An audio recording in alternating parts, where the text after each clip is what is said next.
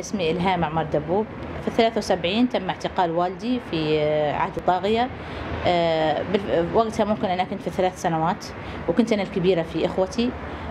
من 73 إلى 77 اللي هو إعدامه في 7 أبريل الله يرحمه آه، تم اعتقاله عدة مرات.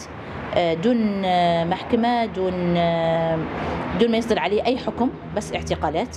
أغلب سجون ليبيا تقريبا آه، بابا الله يرحمه سجن فيهن. في الحصان الأسود في طرابلس في الجديدة. تقول ماما الله يرحمه كان آه، هو على فكرة بابا اللي عنده توفى هو مكسرين القفص الصدري نتاعه مكسرين له كم ضلعه من آه، من آه، القفص الصدري. اللي عنده أعجم هو الله يرحمه عنده كسر هذا من من جراء التعذيب. الأظافر نتاعه وقتها ماما كانت تقول ديما يجي الله يرحمه هم سليله أظافر. هذه ممكن أشياء اللي ماما تلاحظ فيهن فما خفي كان أعظم يعني. أنا أنا نتذكر شخصيا إحنا بيتنا من دورين فنتذكرها أنا نازلة مع ال- السلم نتاع البيت وهو جاي من التعذيب مش قادر يمشي على رجليه. وتم إعدام والدي في 7 أبريل في 77 وهو يعتبر يوم أسود على على ليبيا كلها مش بس على بنغازي أو لأن بالفعل بعدها توالت إعدامات القذافي. يوم كان حزين حزنت فيه بنغازي وبكوه الرجال قبل النساء يعني آه، تم والدي آه، كان الله يرحمه آه، ثمان ساعات وهو على المشنقة في ميدان في ذلك الوقت كان اسمه الاتحاد الاشتراكي.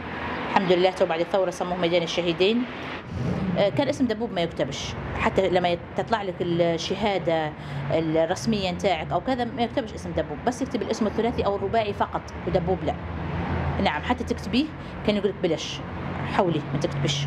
كان ممنوع انه يكتب اسم دبوب اسم القبيلة ما تكتبش دبوب آه هذه حاجة. شوفي هذه يعني أبسط حقوقنا نحن. آه أبسط حقوقنا حتى بيتنا. في الأول إحنا يعني إحنا كنا صغار وقتها وعائلتي كانت تتكون من ثلاث بنات وطفل. يعني آه، بالإضافة إلى والدتي فيقول لك أنت بيتك الحوش كم كبير؟ مضايقات هذين عرفتي؟ وليش قاعدين فيه؟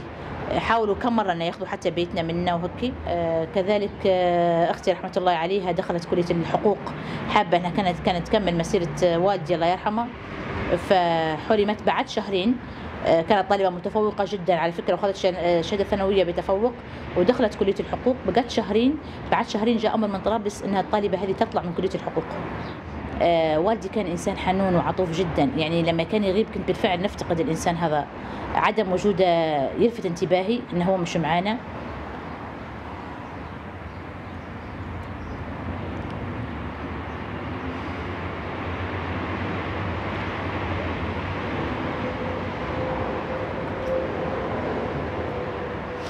آه، طبعا عدم وجوده زي ما قلت لك يعني نشعر به رغم صغر سني ممكن حتى اللي حواليا ما كانوش يشعروا بس أنا نشعر.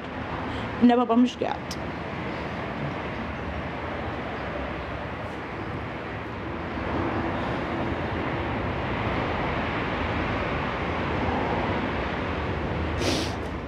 والدي كان صاحب رأي وصاحب فكر. آه، ما كانش يحمل أي آه، أي تطلعات لحكم أو سياسة آه، أو أو رغبات شخصية لنفسه أنه هو يكون حاكم أو يكون أو ي- ي- أو واصل إلى سلطة معينة أو شيء بل بالعكس آه، كان حاب أنه يكون في انتخابات كان حاكم أن حاب أن تكون ليبيا دولة مؤسسات يعني طلب والدي في ذلك الوقت وال- والمناضلين اللي معاه هو نفس طلبنا نحن كليبيين نفس طلب توا ثورة 17 فبراير.